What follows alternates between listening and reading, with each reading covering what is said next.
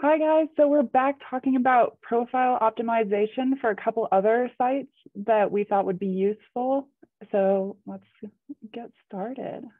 We'll be starting with Facebook, Instagram, LinkedIn, Realtor.com, and Zillow. I'm sorry, I forgot. I'm Amber. I'm from the Sun Valley office. I'm an agent concierge, and Shanna is your marketing content specialist. All right, well, I'm going to go ahead and get started here with uh, Facebook. So I just want to briefly kind of go over um, getting Facebook set up. I think most people by now have a Facebook, but if you don't, um, to create a business account, you do have to have a personal account. They link them on Facebook. Um, so you either need to log into Facebook on your personal account or you need to create a personal account. Um, there's going to be a menu on the left-hand side of Facebook, and there's going to be um, a little flag. It also says pages, and that's how you will create your business page. Um, you want to make sure that you fill out all of your information. So you're going to make sure that you name your page, upload a professional headshot for your profile photo, um, and then upload a professional cover photo. And then you want to complete your page with your bio, um, phone number, website, address, business hours, and all of that good stuff. Um, and then a big thing is invite your friends on your personal page to follow your business page. Um, that starts up a following for you and kind of gives you a baseline um, of people following you and gets you kind of out there on people's timelines. And then one of the last things you want to do is connect your Instagram page to your Facebook page. Meta is kind of the umbrella company for Facebook and Instagram, so they connect really well. Um, so it's handy to have both of those connected. Um, so some best practices for Facebook. Um, you want to post three to five times per week so that your content is staying relevant. There are a lot of people posting on Facebook all of the time. Um, so you want to make sure that you are consistently posting content, um, but you don't want to post more than two times in one day. Um, people kind of get a little oversaturated if you're posting four or five times a day. Um, you want to make sure that you're using creative captions and emojis to grab attention. Um, Facebook only has a certain amount of characters that it allows in the beginning of the post. So you want to make sure that when you're putting your caption in, it's short and sweet and kind of attention grabbing. Um, a program that a lot of people have been using is ChatGPT. Um, you can just type in there what your post is about and say create social media caption, and it does a really good job of coming up with captions and putting emojis in for you. So it's just kind of one of those like nice little life hacks. If you're not great at coming up with captions, it's a really easy way for you to come up with something creative. Um, make sure that when you are promoting your listings, you're using direct links to your listings and not just to your website itself. Um, when people are looking at a listing, if they're going to click on it, they want to go exactly to that listing. They don't want to have to go through your website and search it. They're probably going to immediately close out of your website and get frustrated and annoyed. So make sure that's that direct link. Um, you want to make sure that you're sharing a mix of professional, personal, and local content. Um, so that kind of goes along with that know, like, and trust. So your, your personal content kind of helps them get to know you, knowing that you're an expert in the local area helps them kind of like you, and then making sure that they know you're a professional helps them trust you. So just kind of that mix. Um, I recommend kind of the law thirds where you do a third personal, a third local, and a third professional. Um, if you're hosting events, um, such as open houses or there's something going on in your office, um, use that event feature and invite people on Facebook. Um, that's a really handy feature um, and it kind of helps promote your event and it'll also put it as a local event in your area when people are searching for events. Um, so it's just more exposure for you.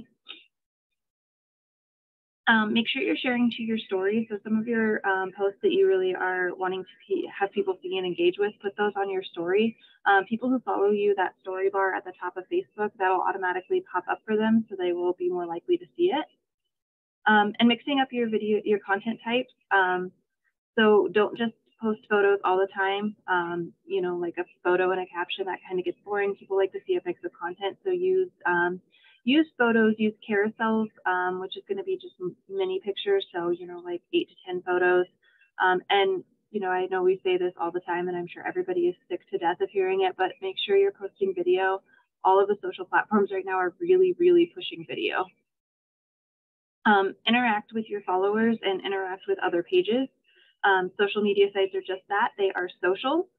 So you need to be commenting, liking, commenting back, sharing posts of other pages. Um, basically, being social on these sites is what's going to um, key you up so that um, Facebook's algorithm notices that you're active with other sites as well as on your page itself. And then, of course, you want to make sure that you are using calls to action. Um, so posting and consistency is great, but it um, is even better if you have a call to action. So asking people to share your post, comment on your post, um, just interaction in general, you know, follow the link below, anything like that um, really just kind of gets them to interact with you as well. All right. Um, so let's go ahead and talk about Instagram. Um, so if you don't have an Instagram account, you are going to need to create one. Um, that little um, name that everybody has on Instagram, um, that's called a handle. Um, so use something that highlights you as a realtor. So um, you might use something like um, uh, Shanna sells homes or, you know, something like that that kind of highlights who you are.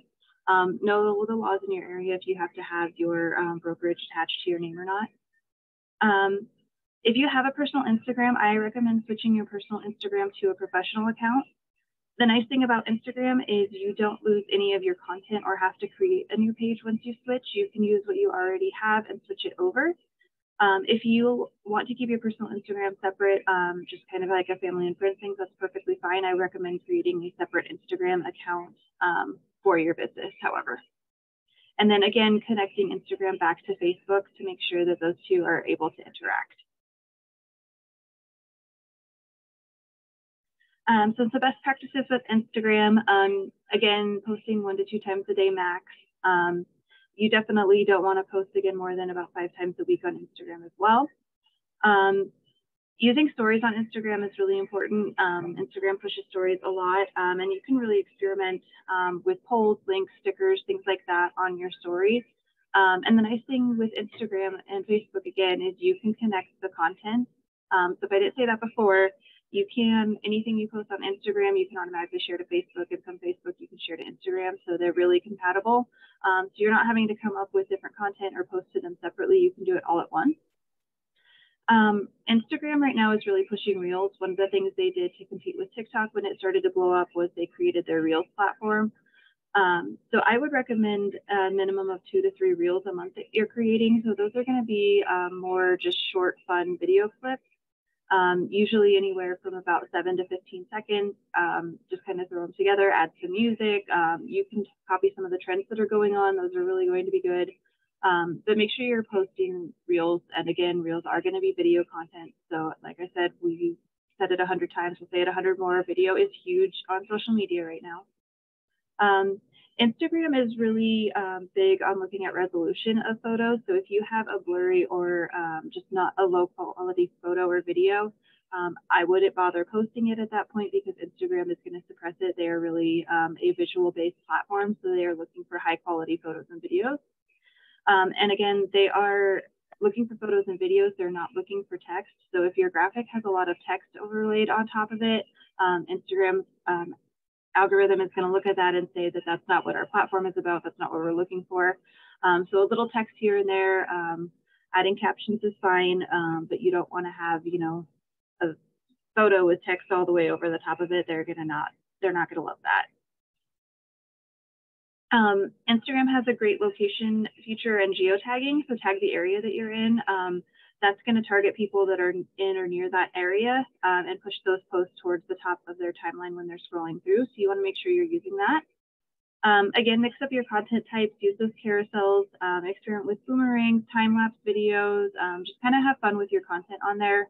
Um, I know a lot of people hate posting, but I think once you kind of mess around and play with some of the features, I think people kind of think it's cool. Um, I know my grandmother got really into filters lately. so she's having fun with that. I think if my, you know, 78 year old grandmother can have some fun on Instagram, I think you guys can probably play around with it a little bit too. Um, it, it can be fun. Um, hashtags are big on Instagram. Um, I recommend uh, mixing in a um, personal hashtag. So um, like CB has hashtag be distinctive. Um, one of the things that's nice about that is if you type in be distinctive, a lot of our posts are going to come up on Instagram because it's kind of our personal brand. So if your um, hashtag again is, you know, like Shanna sells homes, when people type in Shanna sells homes into the bar, they're going to be able to see a lot of your content that's been out there. Um, it's just a good way for people to search for you if they're not already following you on Instagram. Um, you can kind of say, hey, look at my hashtag. This is my brand. Um, add some local content hashtags. Um, so, you know, uh, Grand Junction has West Slope, Best Slope, or you can do GJ Homes. Um, you know, uh, Idaho has hashtag Idahomes. Um, just make sure that you're kind of aware of those. We do have a hashtag list on our Change Lives Academy website if you're looking for some ideas for that. Um, and then you can use some of those big name hashtags such as, you know, hashtag real estate, hashtag real estate agent. Um, just know that you're one of millions of people using that hashtag. So don't just expect to use those big hashtags and get seen.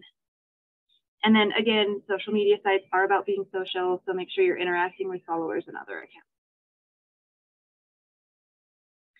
Um, and then the next one I want to talk about is LinkedIn. Um, so LinkedIn is going to be kind of your professional and networking um, site. Um, if you don't have a an account, go ahead and create one through linkedin.com. Um, make sure you're using your professional headshot cover photo. Um, add your job title and employer, and make sure you connect with your employer so you can actually tag Coldwell Banker Distinctive Properties as your employer on LinkedIn. So that'll connect you to our page and give you some more exposure with connections. Um, update your about section, your contact info, add your education and skills, um, there is a way to go in and follow your interest group and other companies, and then make sure you're connecting with people that you know. If you don't have a LinkedIn business profile, make sure your profile is public. Otherwise, you did all of that work to set up your LinkedIn profile and nobody will see it. Um, some best practices, um, LinkedIn um, refreshes pretty quickly, so make sure you're posting uh, two to four times per week to stay relevant. And again, interacting with other users. LinkedIn especially is about building connections. So they are really pushing um, people who interact and comment on other posts, share other posts. Um, they're also jumping on the bandwagon of pushing video content. Um, one of the nice things is they do recognize YouTube links.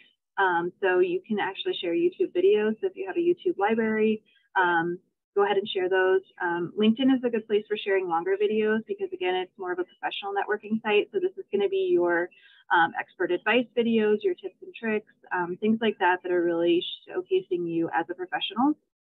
Um, and sharing links to informative articles and blogs is really huge on here as well. Um, if you wrote the article or blog, even better, share it back to your website. Um, this is a great place to share your awards, your recognitions, and really, again, just show off who you are as a professional. Um, and then hashtags are pretty relevant on LinkedIn. Um, they do kind of target what people are following in those interest groups. So think about what you're following and how that's relevant to you and use hashtags that are um, a mix of those as well. Um, so I want to go over some benefits of being on social media. Um, so Facebook and Instagram, um, your business accounts give you performance tracking features. So that allows you to see what kind of content is working for you, what may not be working so well, um, and just kind of reconfigure what you're posting um, and being able to see it um, work. You're able to target people with your ads. Um, and then just being on social media sites boosts your SEO because it's another place that you're online with your information. So when people are searching you, it just gives you more, more SEO because your name is out there more. Um, you're going to be reaching different audiences than if you just have a website or um, just have one platform. The more platforms you are on, the more audiences you're going to reach. Um, social sites, like I mentioned before, are designed to make connections. So this is going to be a way for people to get to know you, like you, and trust you. Um, the Meta Business Suite, like I mentioned before, that is a great um, tool to use that you can post to both Facebook and Instagram. You can see all of your insights in one place. Um, it's just kind of a hub for both platforms, so it's really nice. Um, you can connect these accounts to Social Bay, which helps give you um, some relevant real estate content with little effort on your end. Um, so Social Bay is already designed to share fun content. They already have captions that generate for you and they do a lot of call to actions already. So if you are kind of a person who doesn't want to play around with your social media, I would recommend at least connecting to Social Bay so you have that presence. Um, and then just being on um, social sites gives you brand recognition. Um, LinkedIn especially is good, like I mentioned before, is um, showing you as a professional and an industry leader. Um, it's a good place to connect with other professionals. Um, we've seen this work really well for our commercial real estate agents and brokers. Um, it's a good place to connect with people who are looking for development opportunities. Um, and it's the best place to share your brand and personal wins. LinkedIn is about promoting professionalism, so it's a good place to um, humble brag, if you will. And you can also connect your LinkedIn to Social Bay as well. So I'm going to go to the next slide and turn it over to Amber to talk about um, Zillow and Realtor.com. Okay, so I'm going to start with the setup of Realtor.com. This takes about 10 minutes and it's relatively simple once you know the process. So if you go to your dashboard on Realtor.com and you don't have an account, just click sign up and then you'll add your email and follow the steps to create a password and then you can claim your profile. You need your MLS credentials, so your state, and then whatever your MLS is in your area. Uh, for your agent ID, you have to add CDC in front of your MLS ID for it to work. And then you just sign in with those same credentials. To create your profile, just click the profile tab, manage your profile, and then add your agent information. So the NRDS number is crucial on realtor.com because that's what connects your MLS to um, realtor.com. So people can see the houses you've listed, the houses you've sold. It just gives them a better understanding of what's going on. Uh, you need your headshot, contact information, your designation, and then add your bio from your website and CBIQ so that they can see who you are and what you do. It's important to add uh, areas you've served as well. So when people type in realtor in Sun Valley or realtor in Grand Junction, you pop up. If you've also serviced surrounding areas, it's important to add that too so that you'll pop up in other areas as well. And then you'll need a header photo. It's kind of like Facebook on the back. Um, it just completes the profile and then you're done. For Zillow, the setup process is pretty similar. I usually just type in sign in Zillow, and then the first link is where you can sign in. Uh, if you don't have an account, go to click new account, add your email, and then create a password. And then it's really important to click the box that says I'm a landlord and, or industry professional because that'll allow you to create a profile as a real estate agent. And then just fill out the rest of that information on that page and you can click continue. when you're setting up your profile, you need your name, headshot again. We always recommend that you put the same headshot, especially on realtor.com and Zillow, because they're they're not actual social media platforms. So it's important that they match your Facebook and Instagram.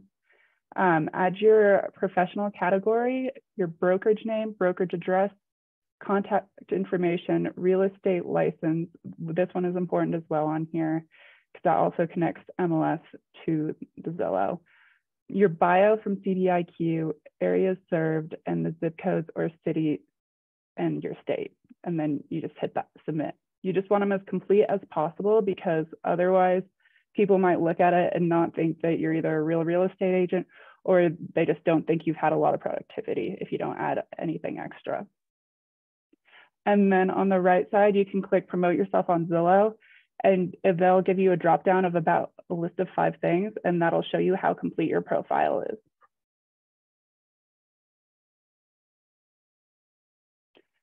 The benefits of using Realtor.com and Zillow are they both have millions of viewers monthly. Uh, Zillow is currently ranked number one in the US for real estate websites. Uh, and then also getting reviews on these sites as well is really important because they boost you up. Um, they also boost your SEO, and then people are visiting the websites because they are looking to buy or sell. It's not Instagram or Facebook where they're just searching to scroll. They're actually actively looking for a house or looking to sell their house. So it's a really great opportunity to get leads and then use them.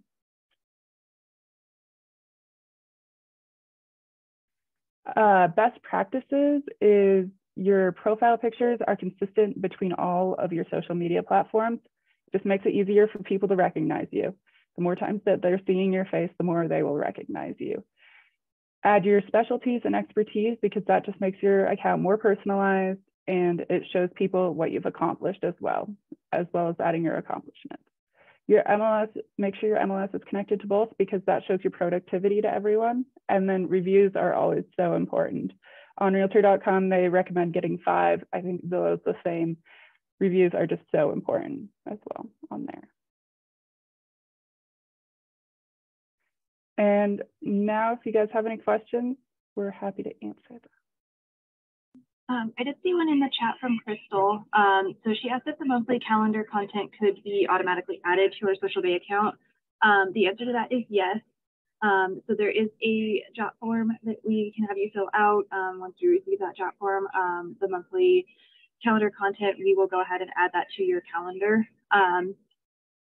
And then you will get an email that notifies you when that um, information has been put on your calendar and you're welcome to review it from there. Um, and again, we do send that out um, typically um, in this week at Distinctive. We will send that out before the next month begins with all of the calendar content. We will send a Dropbox um, link so you can go in and preview it and make sure that everything looks good.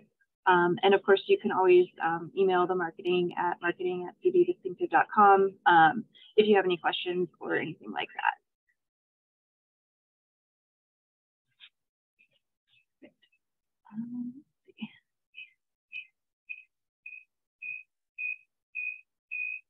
Um, so we have a question about best practices for profile and cover photos. Um, make sure that you have a professional headshot. Um, it's it's important to just, I mean, I, know sometimes getting headshots done can be expensive, but it's important to have a professional headshot. That is your brand and that's who you are um, and taking a selfie um, just isn't the same effect. It's not going to show you as the professional that you are. Um, and a professional photographer is going to be able to really um, get the best lighting, make sure everything looks really good. Um, it's going to be it's going to be really important that you have a professional headshot. Um, and then your cover photo shouldn't be overly complicated. It should highlight your local area that you serve. It should highlight the brokerage that you're tied to so that people are aware of your brokerage. Um, and then that's that's kind of it. You don't want anything over the top. Um, you can put, um, you know, maybe at the top or the bottom of your cover photo, um, your email and phone number. But again, keeping your cover photo simple is going to be important. It's more of just a visual eye draw than it is an information photo. Uh, and then Amber, do you want to answer this one? Should you share the same headshot across all platforms? Yes, you should. It's super important that everybody can recognize you from the same photo. Uh, just when they type in your name, they'll be able to know if they see you on Facebook and then go to realtor.com and type your name in, they'll be able to find you easily that way. And again, um, you're paying for those very professional headshots, so you want to make sure that you're using them um, and definitely use that same photo across the board. Um, and then another thing with your headshot is, you know, make sure that you update it every few years. Um, I know that I am about due to update my headshot. I've been here almost two years now, and I know I need a new headshot. I look different than when I started two years ago. So um, just kind of think about that. If you have a headshot that's 10 years old and you show up, um, you know, you don't want to be catfishing your clients with old headshots. All right, well, I think that is everything. Um, thank you guys. We really appreciate um, you taking the time to join us today.